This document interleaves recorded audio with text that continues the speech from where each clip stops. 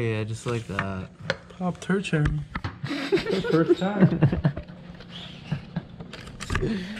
You're gonna get me banned from YouTube.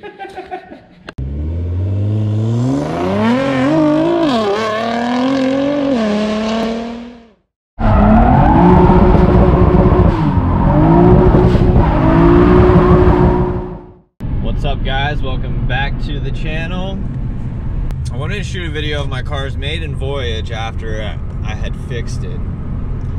But I had to go somewhere quick and I took my car and I didn't grab my GoPro or anything, but within about five or 10 minutes, I started smelling fuel real bad. And I drove it for about 20 minutes to get to my destination. And by the time I got there, it was just, it was running rough. You could tell it was running on like three cylinders and there's just fuel blowing out everywhere. So it was a little sketchy, but I got my car parked. It's been sitting there. And now today I am getting my car towed because it's at a it's at a convenience store right now in the parking lot and I'm getting it towed to my buddy Luis's shop he ordered parts we're just gonna go ahead and do all the injector seals because I'm pretty sure I had another one blow out. It was uh it was a different it wasn't the same injector that had issues this time. It was a different one. So we are going to get all that figured out and hopefully work on it tonight and that that's the plan but I'm gonna continue this video for the next time that we do work on that. Should be tonight definitely needs to be tonight but I'm excited to get my car fixed and I hope that it is done tonight really fingers crossed that it's done tonight and then I'll be able to shoot a video of us taking it out so hope you guys enjoy this video if you do hit that like button make sure to subscribe to the channel there she is, boys, on a trailer. Going to the shop. All right, guys, it is that time to get my car into the bay, way down there. I'm really hoping I just will start to roll here. Oh yeah, we're good. Wait, I don't even have the keys in. Won't be able to steer it.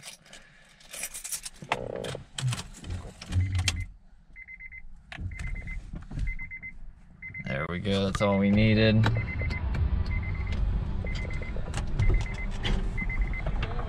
We're good. Here, take this.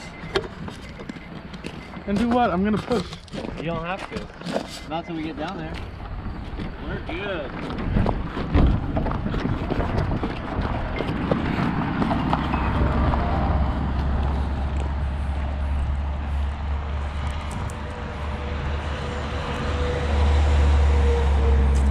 Oh, she made it in on her own.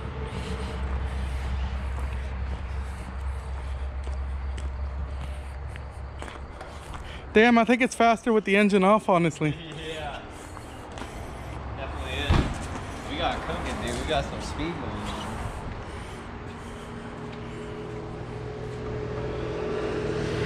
This thing smells like gas so bad. It's kind of unreal. Actually, it's not unreal. I'm just blowing fuel everywhere. I see Miss, the problem. Mr. Headlamp. It is a Honda. That's the problem. I don't, Hey. work, I don't work on these things here. Hey, You know me. at least it's not a Volkswagen. And it would have been better if it That's was. why you have three cars and they're all broken. Actually, I have two cars. Okay, the TDI is broken, and this this big turbo GTI here with the Papa John's thing on top, it blew a oil return line from the turbo.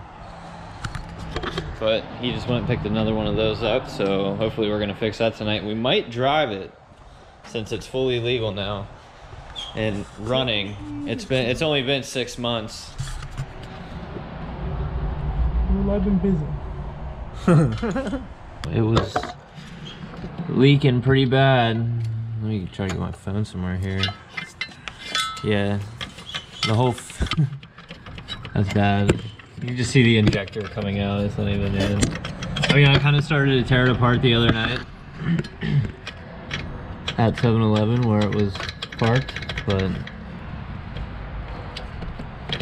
I want to take off this line and pull the rail up completely so I can see it. what this line right here? But yeah, I think the best solution is gonna be zip tie it back down because the idiots that did it before snapped the bolts. Uh, guess what? You're in luck. Guess who just went and bought 20 zip ties from Home Depot? I have a uh, I did. freaking container full of them over there. Oh, I should have just hit you up. Out here spending money I don't have to spend. I looked up the uh, melting point for a zip tie to see how much heat they can handle, and it's like 425 degrees. Yeah, you shouldn't have an issue with it. Yeah, so there's really should be no issues. side, so it's not gonna yeah, because like as long as your engine doesn't get that hot, It's not going to. which it isn't going to, and if it does, it's not going to be running. for real. So Yeah, whoever worked on this before probably shouldn't have been working on cars, honestly. I don't know. Like I, I rigged shit, not that bad. What exactly are we doing here, Luis? I'm trying to get the fuel rail to actually see what the idiot that worked on it before did. And well, it looks like we're about off. We are off.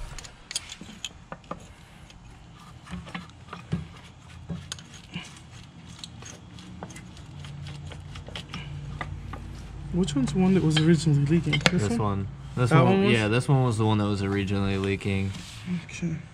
Here, boom. So yeah, look, as, fuel as rail you can tell here, is off. the fuel rail is supposed to be bolted up here. Oh, and all the bolts are broken off, literally. That one's broken off. Here, slide that. Yeah, we can see. Kind of. Yeah, that's broken off. You can see in there. That one's broken off. Right here. That one's broken off. Broken, broken. All three are broken. And that's on the intake itself.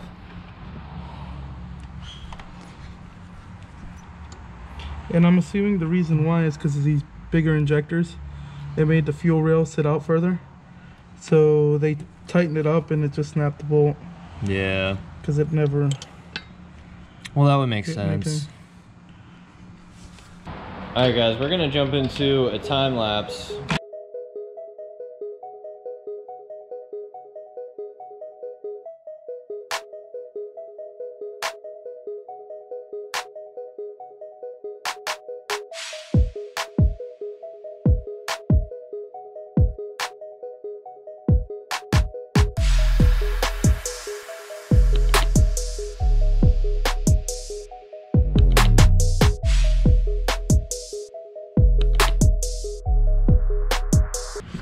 Well, we found one of the issues. Look at that. gasket here. Get your fat thumb out of the way, Luis. I'm trying to spin it around so you can see it. Yeah, that thing's bad. It's probably why you had a fuel leak. Probably. But at least one went out, so now we can do them all. Also, guys, I have a bad connection here with my HIDs because I do not have a low beam. So I figure while we're in here and Luis has electrical tape, I'm going to go ahead and cut this off and fix it up. That's not my electrical tape. That's Uh, my band-aid tape. Oh, your band-aid tape, sorry. Sorry. How bad this connection is. I barely touch it and it's going off. So that needs to go down in there better. It's pretty bad. It's like Christmas lights over here. So that's what we need. We need that to stay on. It's gonna take a lot of band-aid tape, we see. Oh, went out again.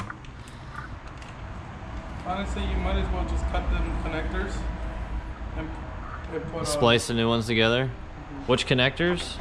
the- cut that connector out of it. Actually, you can't. I just looked at it. Oh, I can't cut it out. Let me see.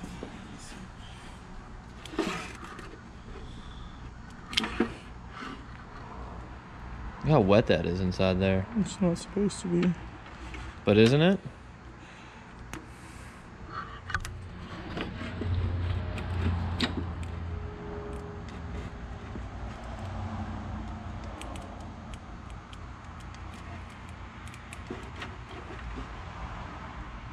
I mean, what you could do is you could cut it here put a flat blade connector on it and then just connect it here. You have to do that to both sides and then just tape everything up. Well, that's probably gonna work better than keeping it like this and just taping this up. So I guess that's what I'm gonna do. While he's doing this. Core's getting lots of love today, guys. Tons of love. Except I forgot a gasket set at my house. So, let me get some light out. This rubber piece fell off right here. Where are we? Right here. So, we're gonna be slapping a new one on there. Getting her all good to go.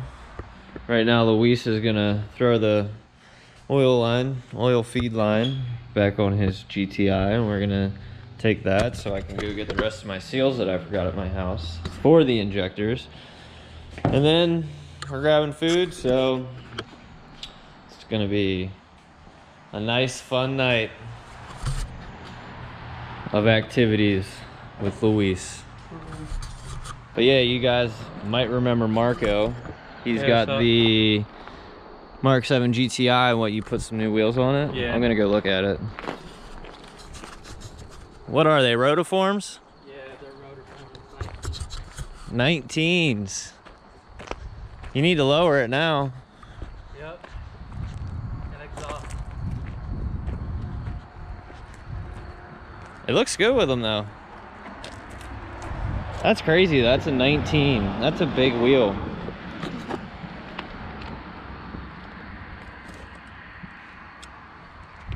Those used to be on Wheezy's old um, Mercedes that he used to have sitting here. Yeah. Oh yeah. What happened to that?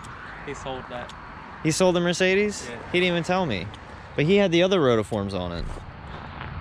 Yeah, those were mine. Oh, those were I yours? traded those Oh, okay. I see. I didn't know he sold that. But yeah, if you guys have not watched why you should buy a Mark 7 GTI, just scroll down in my video posting and it's there somewhere. And then I put a K&N then. Oh, that's a little guy. Yeah. That thing is tiny. And it's like, then the diverter valve is over there. oh, you put the diverter valve in it? Yeah. That's it. Nice. That's all I did. Yeah, do this. That's Intake, tiny. intake is tiny. Like I can grab it. That makes some nice noises though. Oh, I bet. Now that you kind of opened everything up a little bit. Mhm. Nice. Sweet. Yeah, guys, I'm actually going to do a two-part video on this. I was thinking about it, and I was like, you know what? I'm going to be stuffing a lot of stuff into one video, a lot of random stuff. So, we're about to take this out. He's finishing up this uh, oil feed line, and should be good to go. So we're going to take that out, but you guys are going to see that in another video. This thing makes like, how much power do you think this makes? Should make more than 350. More than 350? Okay, so more than 350. I'm about to jump in the jump behind the wheel. We're gonna go have some fun, but that's gonna be in another video. So and it's gonna come out after the video of this thing getting fixed. So stay tuned for that. Yeah, a little bit of an exhaust manifold leak, what he just said, but uh, who cares? Shouldn't be too bad. You can hear it.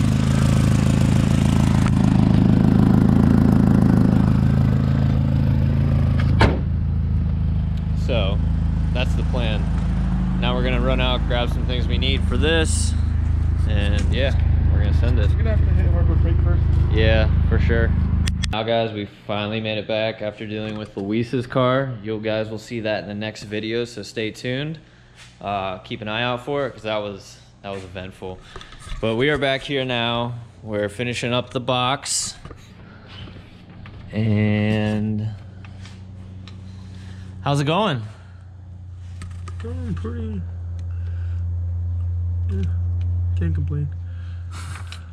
Even if I did, no one would care. As long as long as we're not blowing fuel out after this, I really don't care. I mean, hopefully the power steering pump don't go. Oh, that's what I need to do. I forgot I was working on this. So I'm gonna go ahead and do this. Connector kit still in the car? Uh, yeah. Cool. All right, well I'm gonna do that so. I have a a working low beam. Got them working like new now. That was an easy fix. All right, so fuel rails back on, injectors are back in, and because, like you saw in the video earlier, these bolts are snapped down here for the fuel rail to bolt into the intake, where um, we're doing some redneck stuff. Zip ties are stronger anyway. Zip ties, yeah, they're not gonna break. I'd zip tie my head in place if I could. You don't need ARP, you just need zip ties. exactly. It's almost as good as duct tape. Duct tape, zip ties, and WD 40 is all you need in life. No, PB Blaster, that's way better than WD-40. Yeah, it honestly is. It is. I honestly use that more. I love that stuff. But guys, this is more or less a temporary fix until No, temporary is gonna become term permanent till you K20 swap it. K24 swap it. I do have a I do have a yeah. You just ruined everything, Luis. because I do have a K24. I don't think I've mentioned that before, but I have it. It just needs rebuilt. and we want to boost that. And so that's going to be a lot of money. Because So everyone knows you can't boost H22s. yeah, exactly. You can't boost H22s. If you do, you're going to be sitting on the side of the road. Like my Volkswagen. Like yeah, like your Volkswagen. Exactly. Because in order for me to in order for me to boost this engine, I could do it. I just can't tell you how long it's going to last. Because everything I've read about these cars, they like nitrous and they're just good for NA builds. If you try to boost them, they're going to break. Unless you send the block out and get re-sleeved, but I don't have that kind of money. Like we just said, I do have a K24. All right, folks, we're about to fire the old girl up. Let's see.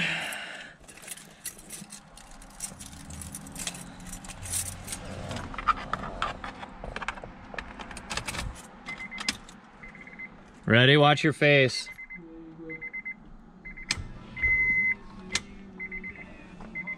Anything? Huh?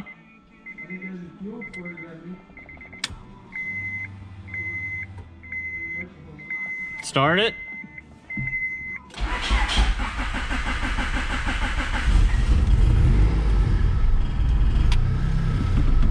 Almost flooded.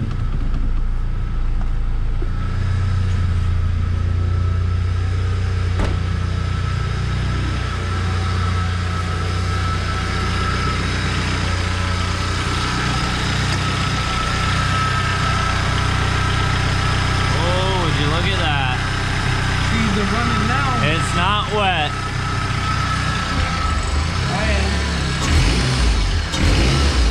Oh yeah. The throttle cable's not even connected yet. We still have to do that.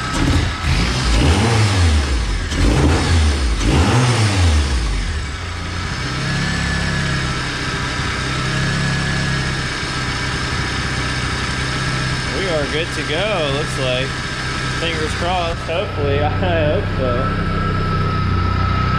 She's alive. Say what? Oh yeah, that's not good.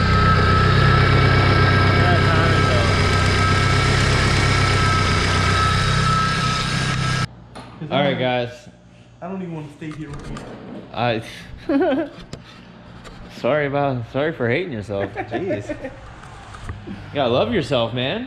I hate my life. I think we all do. But all right, guys, car is done.